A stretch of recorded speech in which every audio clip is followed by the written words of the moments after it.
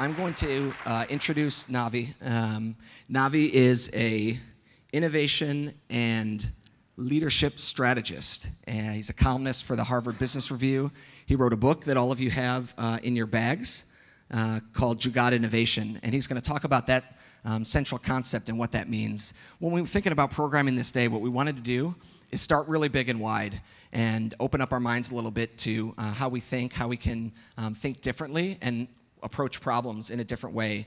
And at Kenshoo uh, and with the, the companies and the partners we work with, for us, uh, innovation is not just something that you do, you know, uh, to be cool or to be different, but it's about um, solving real problems. And Navi's got some great examples he'll walk through about how you can solve fundamental problems by taking new approaches. So please join me in welcoming Navi Radjou.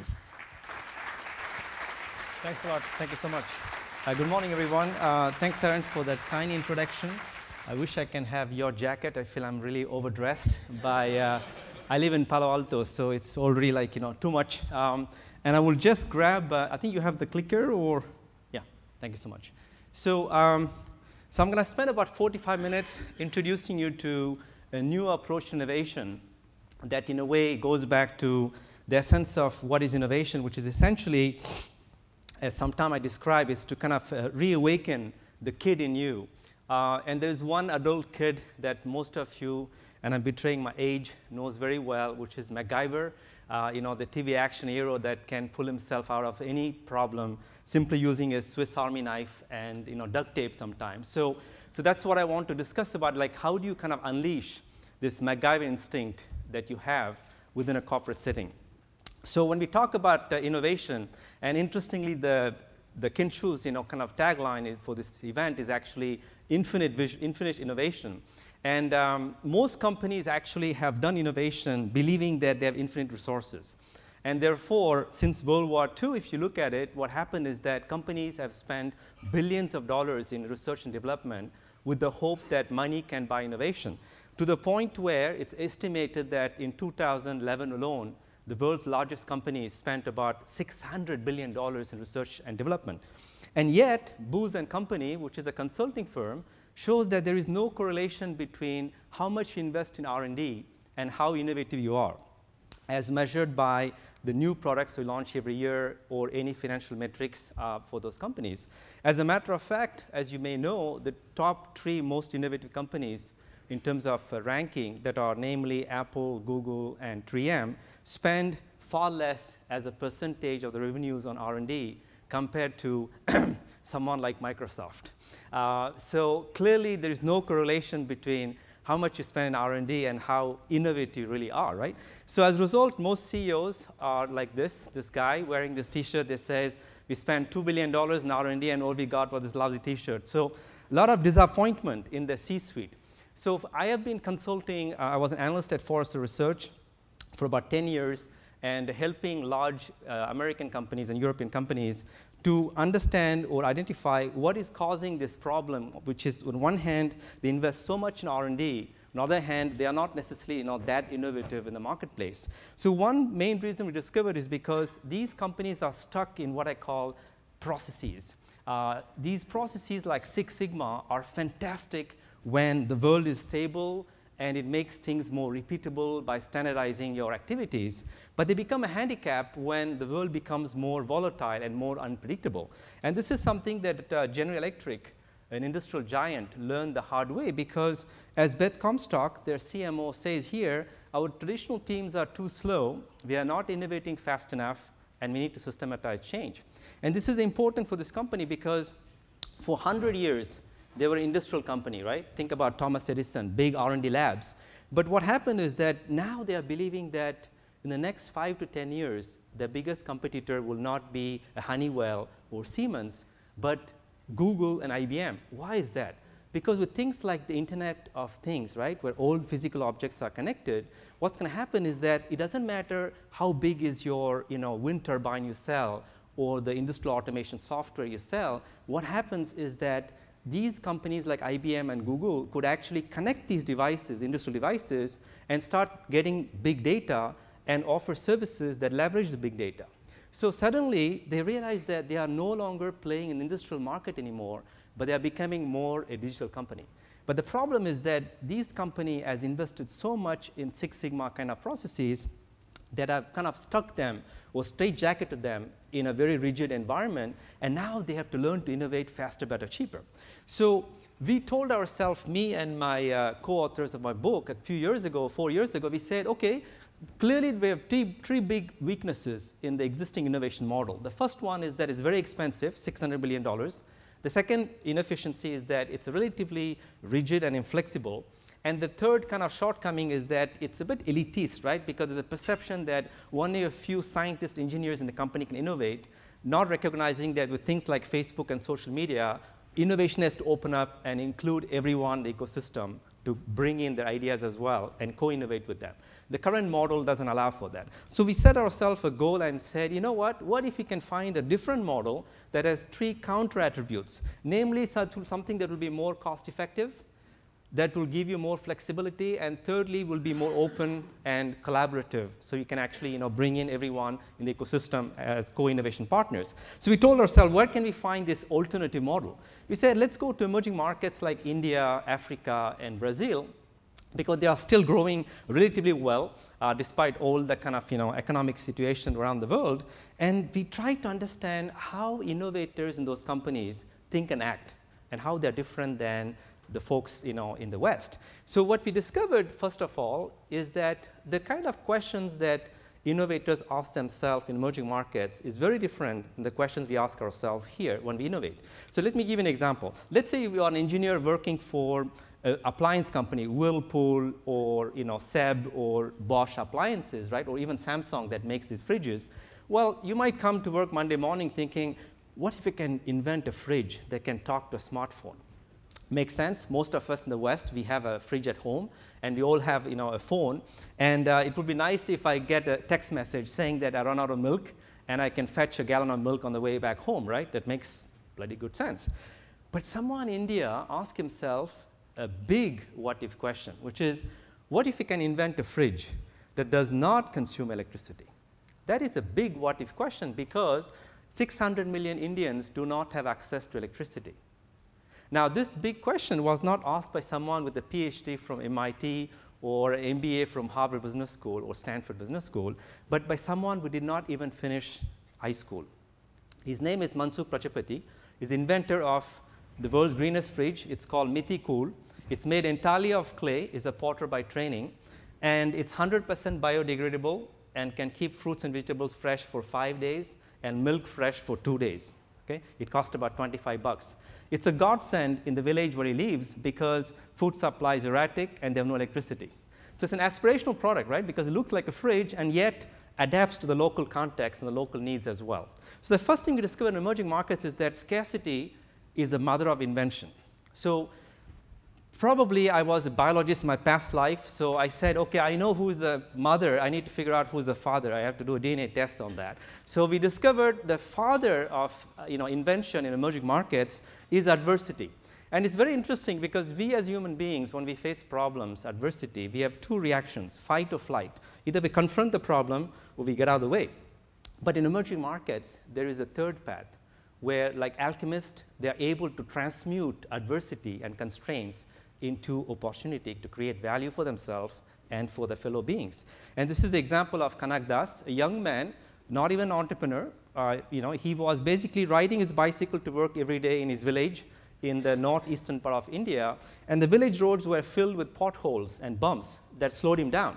So imagine you're an engineer for Ford or Volkswagen, your instinct would be what? To create shock absorbers, right? That could counteract the problem, which is the bumps. So this guy thought differently. Rather, what he did is he actually created this makeshift device that he attached to his bike that systematically converts every bump into acceleration energy.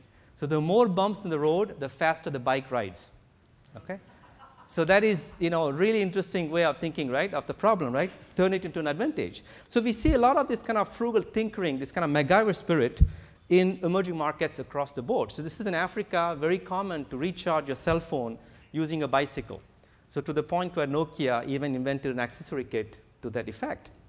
And uh, it, this is in Philippines. It's called Liter of Light. It's a recycled plastic bottle containing bleached water that refracts sunlight and produces the equivalent of a 55 watt bulb. Very convenient because it costs only $1 and is deployed in about 1 million shantytown homes in Philippines that often get affected by the typhoons you saw in the news, right? So this is a very ad hoc way to quickly bring in light inside these dark shanty towns, right?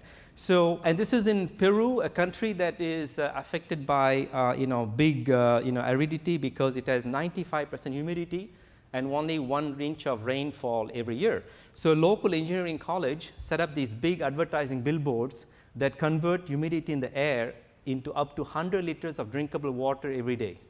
Okay? They can literally, literally produce water out of thin air. That's amazing. Think about it, right? Think about how many advertising billboards you see on highways and how we can use it in places like Texas, Arizona, all these dry places. And of course, now what's happening is that you begin to see companies in emerging markets applying this frugal tinkering on a large scale to create affordable and sustainable solutions for a bigger audience. So you heard about the $2,000 car called the Nano, which was invented by this company called Tata Group.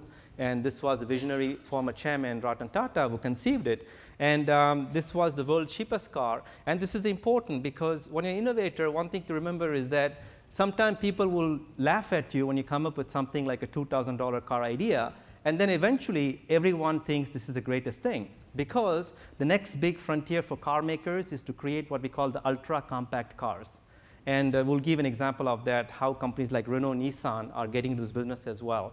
And in Detroit also, they're looking at it carefully as well. So this is happening on a large scale. And um, not only on the product side, but also on the services side. This is Dr. Devi Shetty, is a cardiologist in southern India. He can perform a heart surgery for $3,000. In America, it costs $50,000. Okay? And he can do that on large scale because he operates what is called health campuses. These are uh, big hospitals with 5,000 beds. And somebody asked me once a question, you know, can you scale up compassion? And the answer is yes, he can do it because he can operate on the richest people in India as well on the poorest people as well. He uses a tiered pricing model. Okay? Everyone can afford now a heart surgery. It's not a luxury anymore. Okay? Uh, so he actually even opened a campus in Cayman Islands to cater to the American patients as well. Okay? Um, and, uh, but finally, I think that one continent that is becoming the next frontier for this kind of frugal tinkering is going to be Africa. Um, as a side note, by the way, does anyone know by 2050 which country will, be, will have the third largest population in the world? Any guess?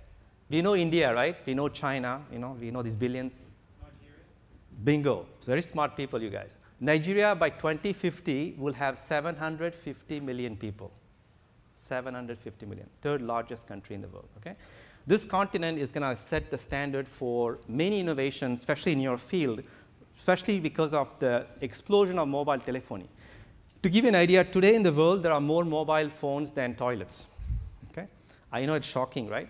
So again, think about what I said, adversity. Either you laugh at it or you say, well, you know, it's not right, you know, we need to have sanitation. Or you celebrate the fact that, gee, everyone has a cell phone. What can I do with it, right? So that's what they're doing in Africa. They're using mobile phone to completely leapfrog entire stage of development. For example, they are using mobile phones in Kenya to send, receive money without having a bank account, without having bank account. Today, 16 million Kenyans use the solution that's largest number of people who have a bank account in Kenya. And 10% of the GDP is transacted already to this service. Okay? And not only that, it gets even more interesting because if this means that they will never have in Kenya a formal banking system, that's what it means. Africa will never have, maybe ever, a banking system. If that's the case, the next question is what else they don't need? Well, maybe do they really need a utilities industry? Well, what's happening is that the same company that launched this, M-Pesa, has started up something called M-Kopa. So the idea is that it allows people in Kenya to buy this solar system, solar lantern system. So it's a base station. It can recharge these solar lanterns as well as your cell phone. And you just pay off using your mobile payment. And the moment you paid it off, like leasing model, then you own the system for life. Okay? So think about also how mobile telephony could become the foundation for procuring energy, healthcare, education, and financial services as well. Okay? And that's why I think that Kenya is going to be, or Africa is going to be the next frontier. As a matter of fact, so you know, IBM opened the first ever lab in Nairobi last October. And you should really look at it because there's a long waiting queue, waiting list apparently within IBM for the researchers in Japan, Europe, and America to go work in Africa because that's where they think they're going to be defining the next frontier for innovation, especially around mobile technologies. Um, so, but then, you know, people ask me like, you know, but this kind of, you know, MacGyver stuff, I mean, can we apply that to where the West is really good at, which is send men to the moon or explore Mars, Jupiter, you name the planet? Well, it's true that you know we are very good at that, right? I mean, NASA, for example, spent 700 million dollars of taxpayers' money, our money, uh, and five years to develop this thing called MAVEN, which is a satellite that is going to be orbiting around Mars, right, to see if you know whatever exists in Mars. Um, but India, three weeks before last November, did something amazing. They also sent a mission to Mars, except they did that 10 times cheaper and three times faster. Okay? What they did is they reused a lot of existing components from previous missions. They did a lot of software stimulation, simulation, sorry, okay, to accelerate the development time. And they had the spacecraft orbit Earth longer than needed to gather more velocity to propel itself towards Mars. Okay? Very MacGyver spirit, right? And uh, so again, this is something you will hear more and more, this notion of a frugal science, which is going to be exploding as well, especially with access to a lot of you know, shared open source kind of tools that we have now. So even scientific in inventions can be done in a very MacGyver fashion. And you can see that you know, emerging markets are proving they can do it. But in our book, what we try to do is basically not just to showcase all these ingenious solutions that sound very exciting to you know, listen or watch, but rather we said, okay, you know, this is what we can see the, at the top of the iceberg, tip of the iceberg, but what is underneath? Is there some kind of you know, secret sauce, secret methodology that we can package, write a book, and become a millionaire? So that was my dream, I guess. But uh, sadly, um, we couldn't find any formula. Damn. So there goes my retirement fund. I'm screwed. So um, instead, we discovered that all these entrepreneurs share a very unique mindset. So it's all about a mindset. So what is that mindset? Well, we couldn't find an exact term for it. So we used a Hindi word from India. It's called jugaad. And the jugaad means the ability to improvise an effective solution in adverse circumstances using limited resources. When you face problems and you don't have resources, you don't give up you look inside yourself and you find that you're very abundant in one area, which is ingenuity. So you tap into that to deal with these outside problems. And uh, this term is actually known in different other ways around the world. Jeitinho, as they say in Brazil, uh, Shuangxin in China, which is becoming a hot concept in China because they want to move away from copycat innovation to indigenous innovation, as they call it, something that is you know, homegrown. Uh, System D, they call it in France. And then good old America, we call it DIY, do it yourself, which by itself is becoming a big market, as you will see in a few minutes. Um, but if you ask me what is really Jugaad about, you know, as I said, for me, it's really you know, the MacGyver spirit, right? So I actually studied, I'm a French national, so I studied in Paris and I watched him actually, uh, you know, speak in French, you know, in the TV episodes. But he was one of my heroes because um, unlike James Bond, you know, this guy didn't have fancy suits, you know, he only was wearing some lavish, you know, shirts sometime, but more importantly, he didn't have expensive you know, gadgets like Mag, uh, uh, James Bond. He only relied on any resources he could find. And, uh, and I think for me, that's kind of you know, where we are heading towards is, you know, don't expect the world to give you everything you want. Try to improvise with what you already have, right? And that for me is really the spirit of you know, MacGyver. And, um, but this kind of MacGyver spirit, we have a term for it in this country. We call it Yankee ingenuity. And this is something that the founding fathers of this country had in the beginning.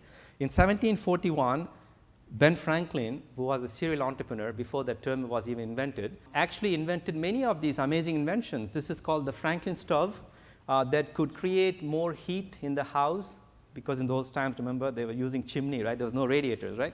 So it could create twice more heat using four times less wood, okay? More for less. So, and he never patented his inventions. He was a pioneer of open source. He said, I will never patent my inventions because it has to benefit society, right?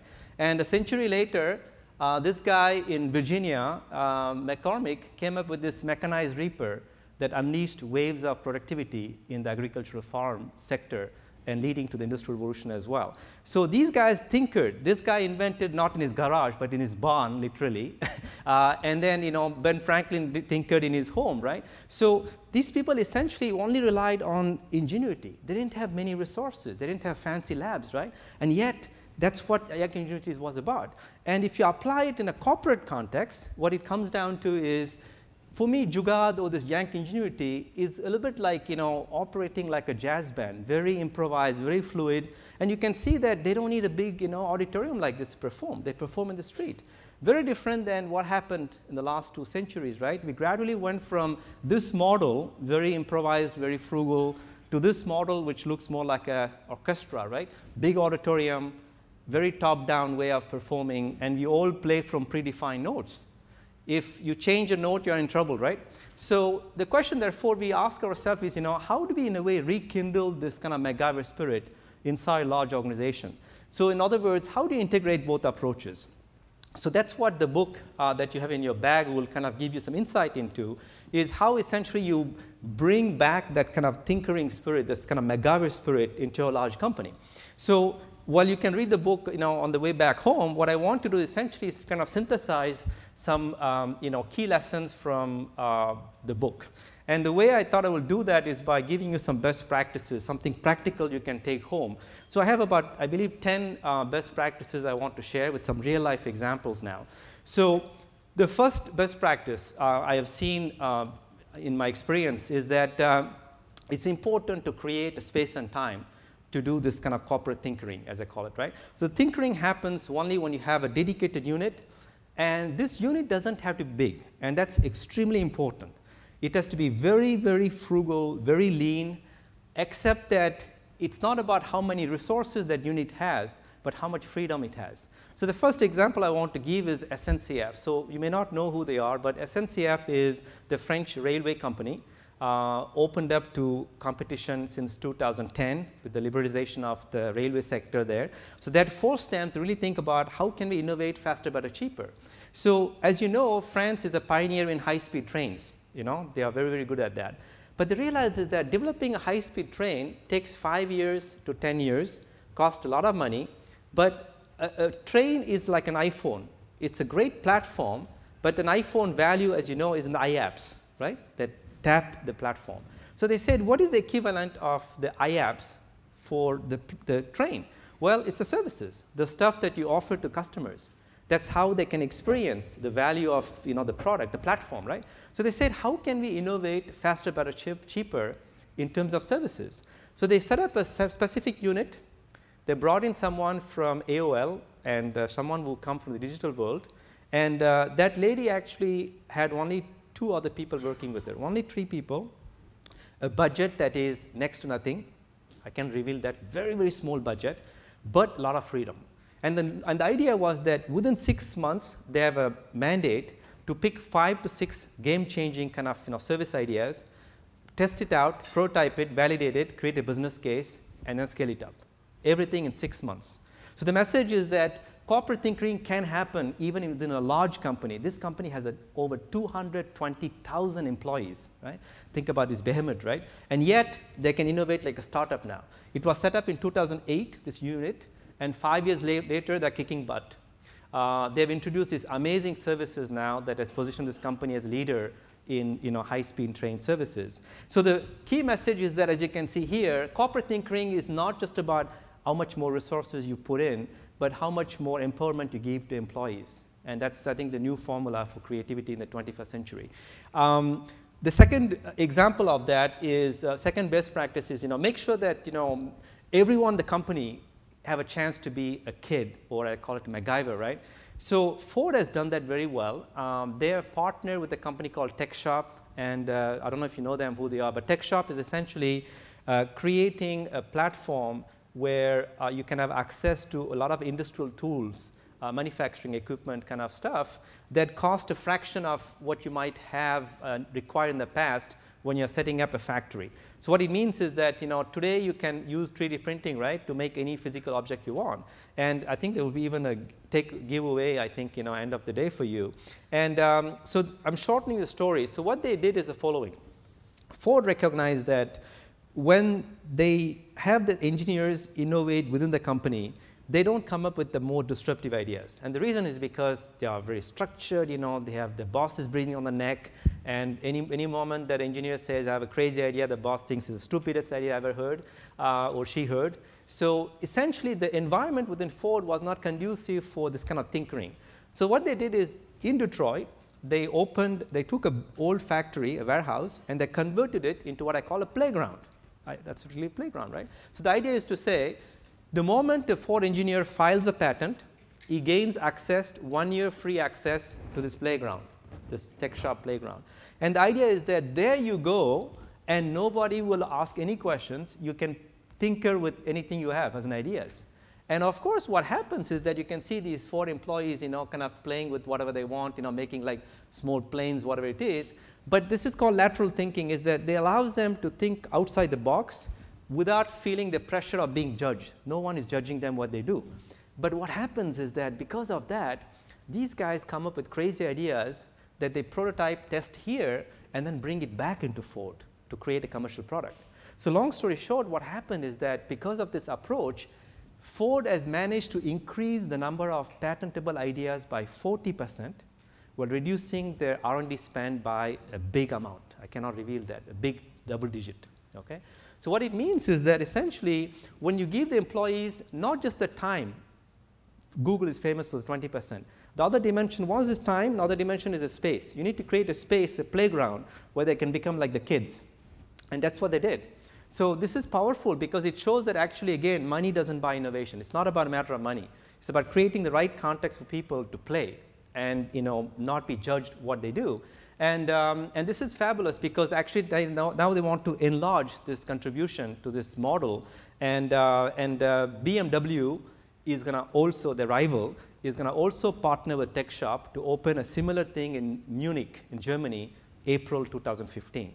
So this is a new model that is emerging as well, is to how do you create a physical playground, I call it, where people can actually go and tinker with these you know, tools. Um, now, that's the second best practice. Third best practice. Um, you know, sometimes culture is hard to change, as Peter Drucker said, right? He said famously that, you know, don't try to change the culture, try to kind of, you know, use it to your advantage. So General Electric, I said earlier, is a culture, you know, relatively, uh, you know, rigid, relatively kind of, you know, traditional industrial company.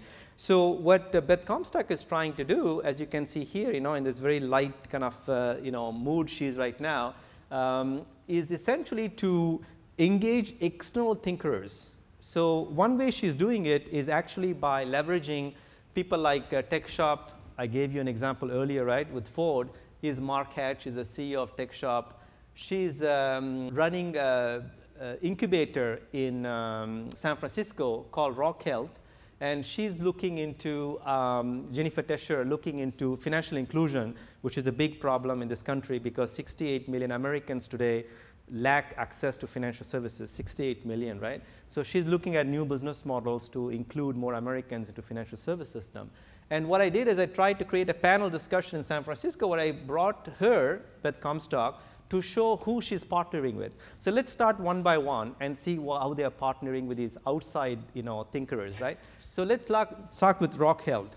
So Rock Health is an incubator uh, in San Francisco, which is creating a revolution in healthcare system by developing software uh, um, startups that come up with the digital products and digital services to optimize healthcare delivery. So one of the incubated companies is uh, CellScope that essentially makes these uh, access accessories that you can attach to your iPhone and you can convert it into otoscope.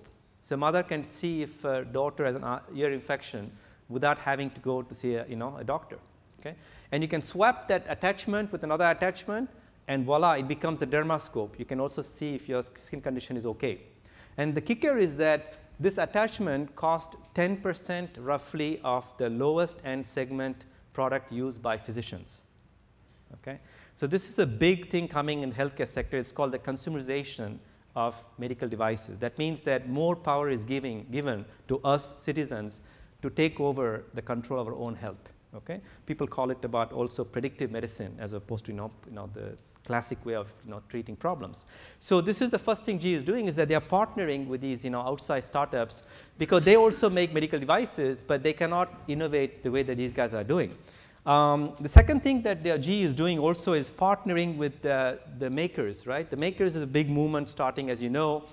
It's essentially everyday citizens having a chance to showcase the MacGyver you know, inventions. It began here in uh, California, in uh, San Mateo, and uh, today about half million people show up to this event. Uh, New York has launched its own uh, Maker uh, Week. Every third week of September is declared by former Mayor Bloomberg as a Maker Week. And this is exploding. So think about, you know, TEDx, right? TED Talks. So this is the next thing. Like TED Talk, this is going to explode. Every city is going to host it right? It, was hap it happened in Rome last year in September. The whole city has to be shut down. It was so popular. It's going to take place in Paris as well in June. This is coming everywhere. So what GE said is like, okay, if every citizen is able to invent now, how do we collaborate with them? How do we kind of you know, engage them in our system? So for that, they launched a new business unit called GE Garages.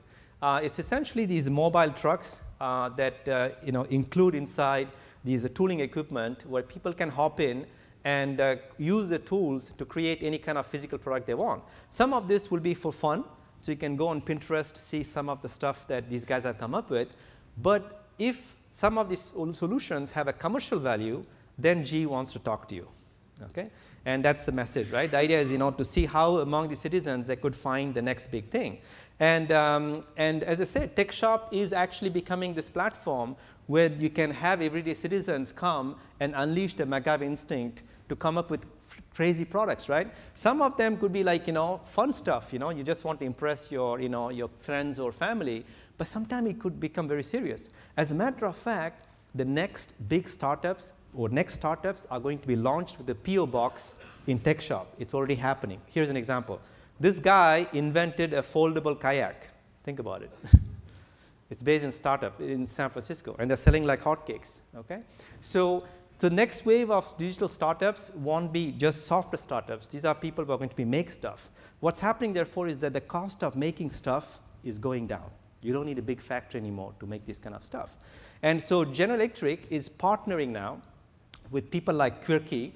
Uh, Quirky is interesting. It's something that was founded by this young man who was only 23 when he started it, uh, Ben Kaufman, based in New York. And what they do is that this is the head of research of General Electric. This is Beth Comstock, the CMO. And essentially, he oversees a big R&D program within GE, right? But they come up with amazing patents that many of the patents, they don't really use them. So because they have an idea within GE they come up with, but they don't know how to commercialize it. So the notion was, rather than keeping these patents for ourselves, what if we can put it in the public place and we can have entrepreneurs come, license it, build solutions themselves, and we just get a licensing fee out of that. So that's what the platform enables, Quirky. So because of that, you have these amazing guys who use Quirky platform to gain access, like uh, Jake Zien, who has come up with this power strip that is adjustable. Remember, this is the big problem. Think about right? All the stuff we have is very linear, very rigid, right? He came up with this adjustable one. Okay? And what's amazing now is that um, Quirky has also partnered now uh, with uh, retailers like Auchan, which is a big European retailer. So what it means is that someone can take an invention from GE, license it, make a product, and then you have a big retailer waiting to sell it. Okay? Think about how the MacGyvers now, because it's nice to be a MacGyver, but how do you sell the product, right? Well, first of all, you can get access to some technology as a baseline, build on it, and then you have retailer waiting to sell for you, right? So this is a whole new value chain which is emerging right now. So another best practice, number four, and I'm conscious of the time, so I'll try to go a bit faster, sorry, uh, is also about the fact that when you tinker, you know, when you think about MacGyver, all these, you know, kind of uh, uh, tinkerers, you think about these people, you know, in a kind of, uh, you know, sitting in a room and, you know, playing with some tools kind of thing, separated from the rest of the world. But actually tinkering should also involve customers. And here I think one example I like to give is SAP Labs India, uh, which is an R&D lab of SAP. They have about uh, 15, I believe, around the world. And uh, the SAP Labs India was run until recently by this very young man. He became the MD, managing director of that at 35. He's still very boyish, as you can see. Ferose, a good friend of mine. And uh, what he set up is that, you know, they are German, right? So SAP. So that means you know long development cycles. Everything has to be over-engineered, over-tested before they put in the marketplace. Otherwise, it's a bad image for them, kind of thing. But he said no because you know now the pace of software development has to accelerate. So he brought in essentially this notion of design thinking he combined design thinking with the notion of agile development, as you know, this approach to developing software faster. He combined it and he created a physical space called App House within the lab. The idea is to bring together different uh, functions, marketing, engineering, and R&D, and communications, and, and everyone together, including customers, and to develop solutions much faster within a 90 days cycle instead of two year cycle. Okay?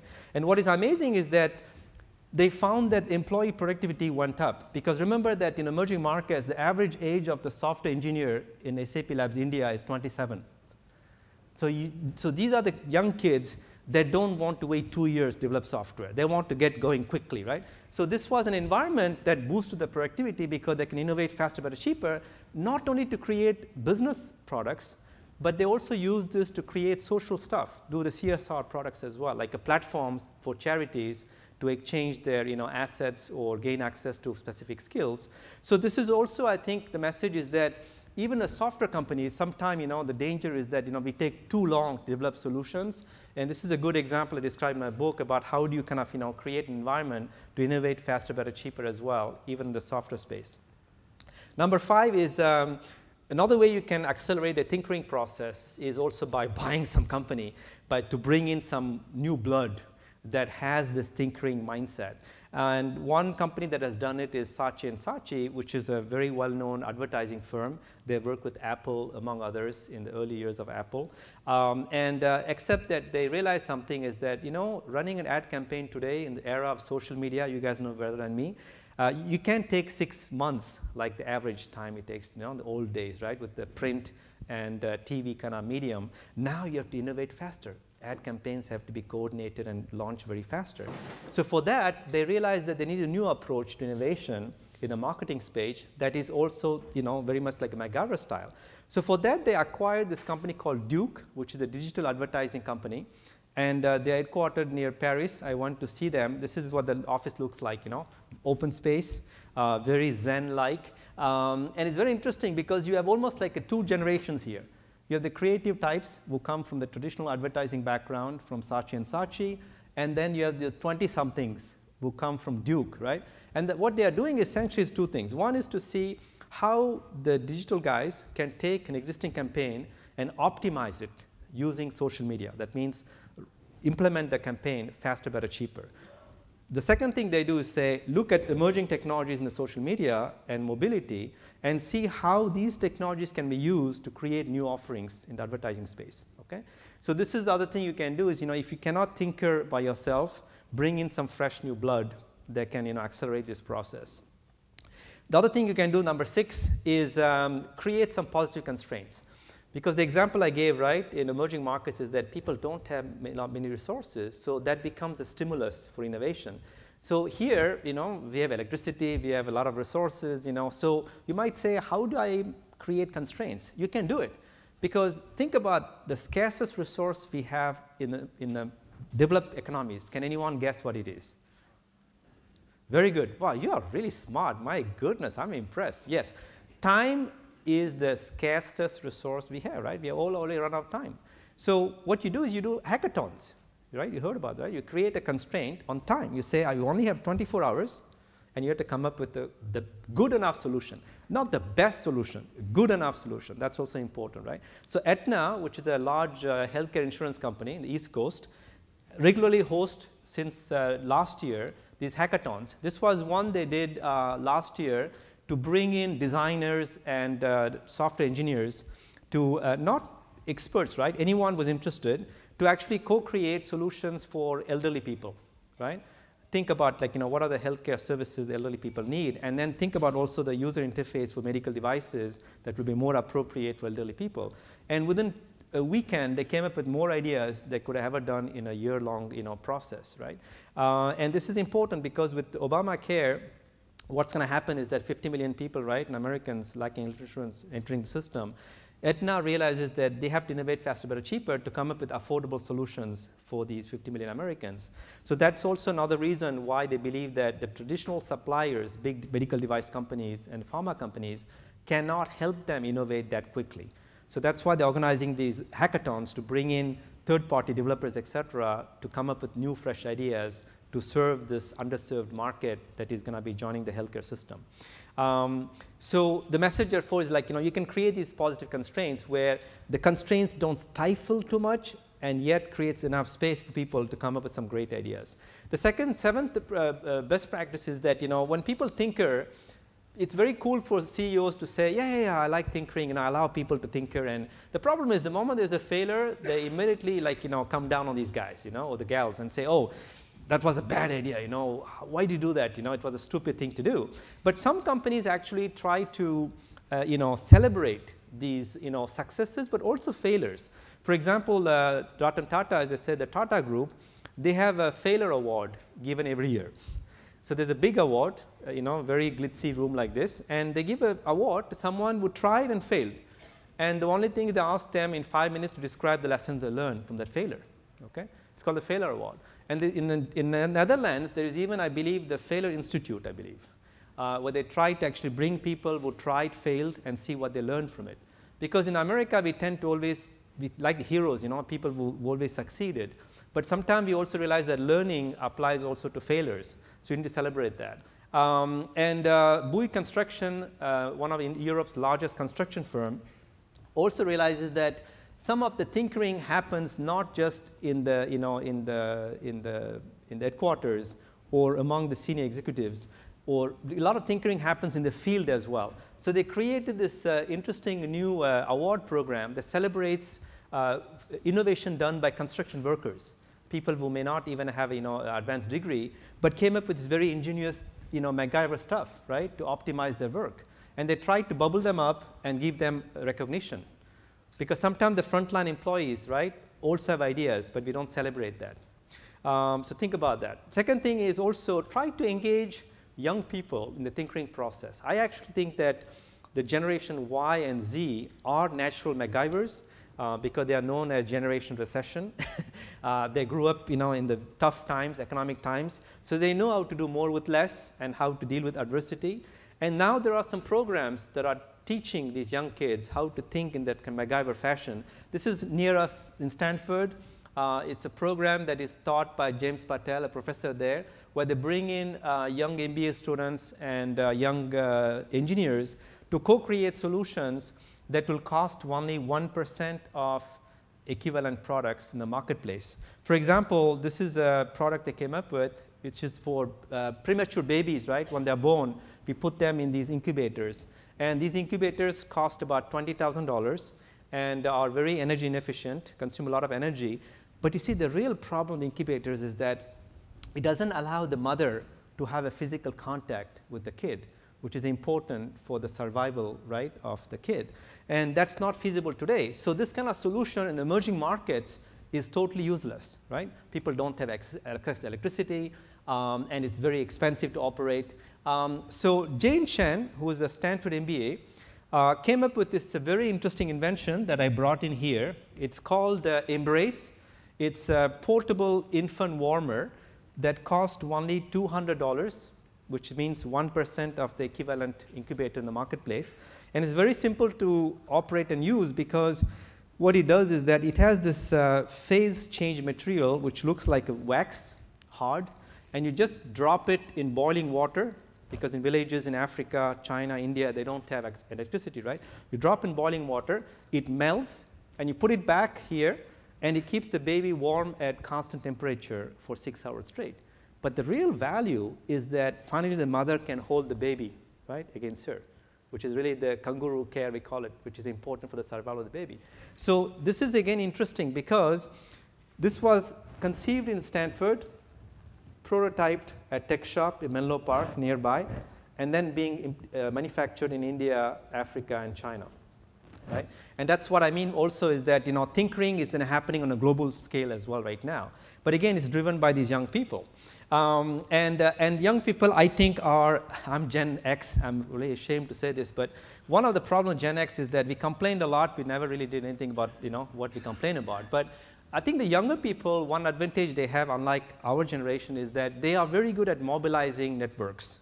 And uh, so we see now new movements starting. This is called Design for America, which made it to the cover of Fast Company. Uh, this is a program which, is, which consists in creating every state in this country, 50 states, uh, a design studio where young people will come together to look at within the local neighborhood what are the big issues in healthcare, transportation, energy, and solve these problems in a very frugal way, in a MacGyver fashion, without requiring big resources. And uh, the founders of uh, Design DFA is uh, Yuri Malina and Mert Iseri. You see them here.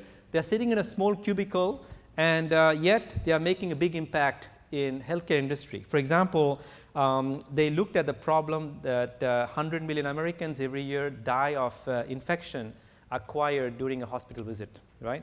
And the reason for that is because not because the doctors want to deliberately kill the patients, uh, it's just that doctors, as you know, are very busy. And they don't have time to stop by a hand sanitation station, right, to stop and wash their hands. They're always busy, right, from one patient visit to another one.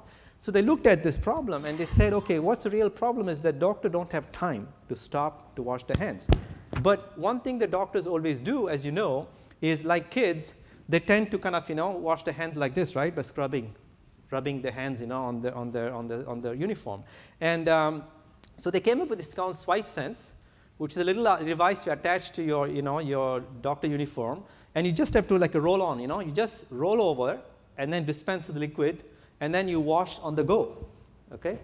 It cost two bucks to make it, and they made it with a 3D printer, and this is the new version, six year a bit, and looks like you know, clamshell, you know, kind of you know, mouse. So the message is that young people are actually taking over these very complex issues, 100,000 Americans dying every year, without requiring a big laboratory to come up with solutions. So think about also either hiring these kids or finding a way to collaborate with them as well. Um, and uh, one young kid that uh, I met him uh, last week in Delhi, uh, does anyone know who he is? His name is uh, Jack Andraka. Uh, he's from Maryland. And at 14 years old, he invented a test kit for pancreatic cancer.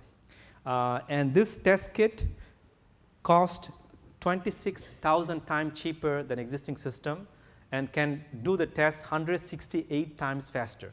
Only six cents, and it can do the test in five minutes. Okay? So that's what's happening is that, you know, essentially you have these young kids now who can deal with these big issues. And what's a fa funny story, and that's why I put the title, right? The real story is this. And, and he won the Intel uh, Science Prize. You can Google it and uh, he was even with Obama and everything. You know, amazing kid. Still a kid. You know, he's only 16 now, and you know, he's still you know very very amazing guy. Good energy. But the real message is that look at the title, right? What happens is we think them as kids. So when he applied to 100 professors in different universities in America, asking them, "Can I come work in your lab? Because I have an idea. I tested it. I want to make it better." 99% professor rejected him. They thought he was a crazy idea.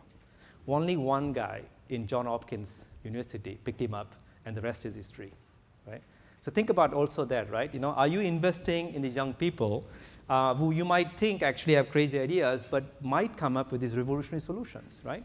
So think about that as well. Um, and sometimes even young kids can be, this is the Generation Z. Uh, this is a long story short, this is a major retailer in Europe, I can name which one, hired actually uh, young uh, high school kids to redesign the cutlery for they also sell uh, you know food items in their store retail stores and they wanted to redesign them for elderly people uh, because in Europe population is aging so they wanted to rethink about you know cutlery that will be more easy to use so they brought in these young kids and in the user in the focus groups they discovered that the solution the young kids proposed were far better accepted than the stuff that the in-house designers came up with. Okay? So again, right, you know, we always, uh, Gen X, you know, we always think like, oh, the kids, like, you know, they don't know anything. But actually, they are very intuitive, right? And, and I think, you know, when we say about ingenu ingenuity, uh, there's a the root of the word is ingenuous. There's ingenuous, which means like, you know, this innocence. And that's really important, right? Because they don't have the baggage like we have. So they are able to ask these big what if questions or like, why not, right? We never ask the question, why not? We always ask the question, how? The moment someone goes from, it goes in hierarchy, right? The why not leads to the most disruptive questions, disruptive innovation. Why needs to equally disruptive. The moment you go from asking the why question to how and what, that's it, end of the world. okay? So ask yourself every day, like, you know, am I asking the question why not or how, right? Um, and uh, finally, the ninth uh, kind of practice, and I have one more, and I will close on that, is one way you can learn to tinker, I think, is by going to emerging markets, either live there for a couple of years, or if you're a leader, send your, uh, you know, your deputies to go live there as well. Why? Simply because you can see that, you know, we are right now here and see what's going to happen within a few decades is that all the middle class, globally speaking, is going to shift from mature economies to the emerging markets. As a matter of fact, you can see that there are already about 300 million uh, middle class consumers in China alone, the equivalent of the size of this country, right, population wise. So that means that you need to really begin to expose your executives and yourself to the new realities of how to innovate in these very resource constrained environments like India, China, Africa, and Brazil. And that's really what um, this company, Renault Nissan, is trying to do. Um, Renault, as you know, is a French car maker. You may not know them, but you know their alliance partner, Nissan. And, um, and it's an amazing company because uh, two weeks ago, I think they now become the third largest car maker in the world. And they will become probably second in the next three years, in my opinion. And uh, the former CEO, Louis Schweitzer, came up with this uh, 5,000 euro car in 2005. It's called the Logan, uh, which then got extended into a broader set of products called the Dacia brand. And uh, funnily, they thought this product will sell primarily in emerging markets, but it has become a bestseller in Western Europe. It's selling like hotcakes to the point, to the, to the, to the point where 40% of revenues now come from these low-end products. They never expected that to happen. Because of the crisis, this has become a huge cash cow for them. And then the current CEO, uh, Carlos Ghosn, is taking it to the next level, uh, and he coined this term called frugal engineering, and you will see in the book there's a detailed case study on them. Don't worry about it. You can read more about it in the book. But the message is that he's taking it to the next level by actually, uh, and I had the pleasure to launch my book with him in New York in 2012. And what he explained is that he's taking the guy, the chief engineer, who designed this uh, Logan vehicle, 5,000 euro car, to say, okay, you did it awesome. What if you can create a car that is twice cheaper, right? Like, like 2,500 euros, right? Well, you cannot do that in Europe because you know the context you know is not the same, right? You have too many resources. You cannot really think outside the box. So he dispatched him to go live in southern India, where he's developing now. Uh, first of all, he's exposing himself. Any of you who have been to these emerging markets, you know how bad the traffic situation can get. So that there's empathy, you know, first of all, with emerging market consumers to see how difficult it is to navigate this traffic mess, uh, and then use that customer insight to come up with the whole new car platform. It's called the CMF-A. And this is going to be shared between Renault and Nissan to create a new segment of vehicles that are going to be ultra low cost that will be sold around the world starting next year. Uh, the final thing I want to close on is that you know, tinkering is not a professional activity. Think about it also in your private life. And I love this thing in San Francisco, it's Berkeley, I believe. It's called Hacker Moms, where moms can come with the kids. There is a nursery for kids, and uh, moms can then you know, play with these, you know, become the, you know, the, the MacGyver, you know, themselves. So I think that's what I want to leave you with is, you know, you know, don't be MacGyver just Monday to Friday, 8 to 5. Try to also be MacGyver, you know, evenings and weekends as well. And if possible, bring your entire family with you to do that. So thank you so much.